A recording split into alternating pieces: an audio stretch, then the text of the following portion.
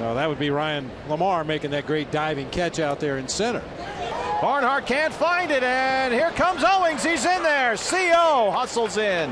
10 5 Diamondbacks. It happened again to Tucker Barnhart. No idea where the baseball was. Owings saw that and sprinted home from third. Now, that ball didn't get very far away from home plate.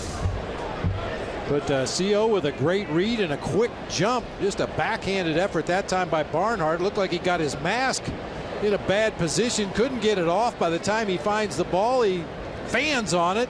CO slides across home. Boy,